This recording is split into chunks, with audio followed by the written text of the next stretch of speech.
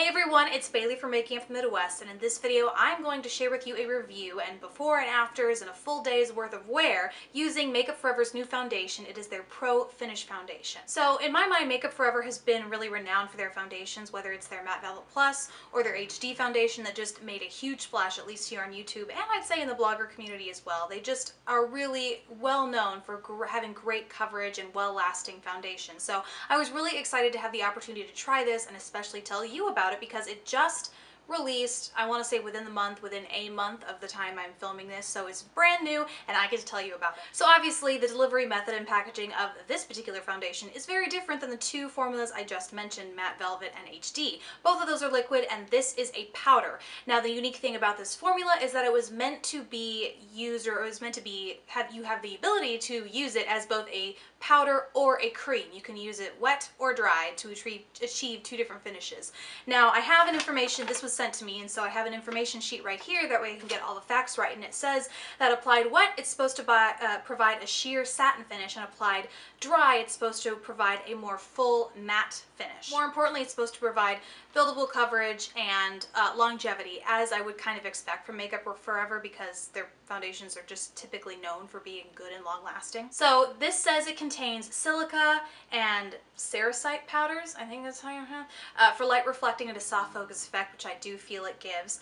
Um, it also contains Ximenia oil and aloe vera powder, which you'll hear me talk about later in this video when I evaluate the wear. It's supposed to add some moisture and just give your skin a little bit of added nourishment throughout the day, especially since it's a powder foundation. And the other nice thing about this line is it does come in 25, yes, 25 different shades, anything ranging from the lightest porcelain shade you can see right here to what looks like a relatively dark or deeper shade here at the end. Mine is shade 120, which is right here, so you can see my skin versus all this. It, it's a pretty broad spectrum, which is great. So now I'm going to cut to me applying this powder this morning, and then I will carry on with the rest of this review at the end of the day, or actually now as I'm filming this, and I'll you'll get a close-up of me as I'm applying it, the finished effect as I'm applying it, and then you'll get to see my face at the end of the day to see how it wears. So let's get on with that. All right, so as you can kind of see, I first applied the Makeup Forever Pro Finish Dry on my right, your left side of my face, and it gave a really, uh, kind of relatively sheer coverage. I'm using this Japanese kabuki brush, by the way,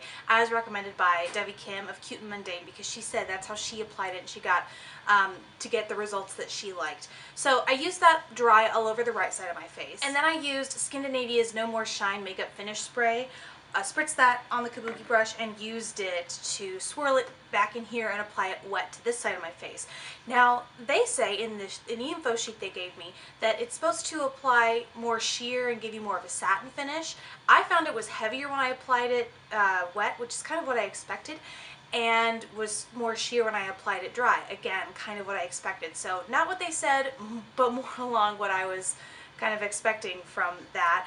And because I like the heavier coverage, especially now during winter, I went ahead and applied it wet all over my face. So here are the final results without uh, concealer, rest of the makeup, anything else, just so you can see what it looks like just with the um, powder all over my face. So you can see it doesn't cover up blemishes. I mean, you only have that. It doesn't cover up under eye circles. It feels really soft and light but it doesn't provide the kind of coverage that I've expected from say my Makeup Forever HD or that my sister has. She has the Matte Velvet Plus. So. I wouldn't say this foundation is full coverage, but in looking through the information, and this is just you know, glancing at it, so I'll correct it in the information bar if it's incorrect, but I don't think it's supposed to be full coverage, but it does say flawless finish. I wouldn't say it's flawless. I really like the finish it gives to the skin, but I wouldn't say it's flawless. So I'm going to go ahead and do the rest of my face, and then I will check back with you later tonight to see how it wore throughout the day. So here we are now, about eight and a half hours has passed. I initially did my makeup at 8-ish a.m. and it is now, what time, 5.30, 5.40-ish. So solid day has gone by and this is what my face looks like. I'm going to zoom in so you can kind of better see how the powder has worn throughout the day. So as you might be able to tell, it's more or less intact. Some blemishes have kind of come undone.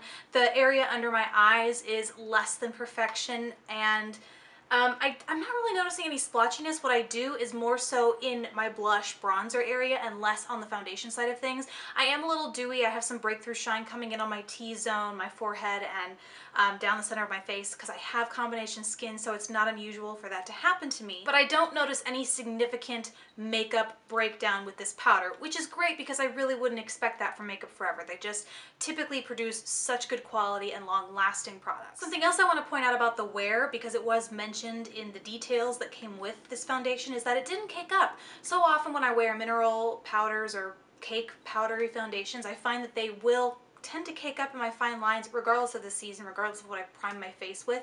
It's just the nature of a loose powder formula on my skin, especially with an oily T-zone. It can cake on me during the day, and I didn't find that happen with this.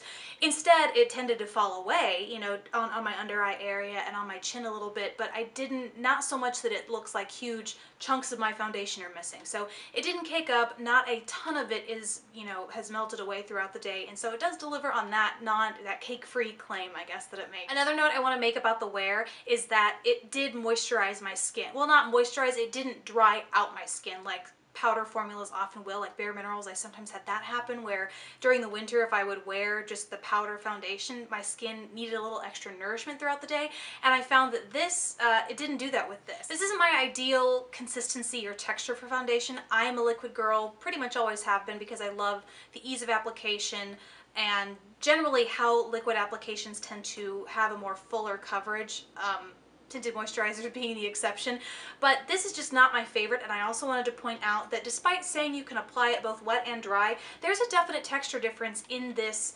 pad where you can see that it has this shiny kind of crust on top where I've used a wet brush and it has this dry powdery, I mean kind of normal consistency. You can see there's some payoff on my middle finger and then when I try and rub it with this finger there's just hardly any. So it kind of, it forms the same crust on top that a product that isn't typically compatible with uh, liquid or water or mixing medium like that forms and so it, it kind of it makes me wonder, A, am I using it wrong? Am I supposed to use something else to mix with this on my face? And B, is it really formulated for liquid use?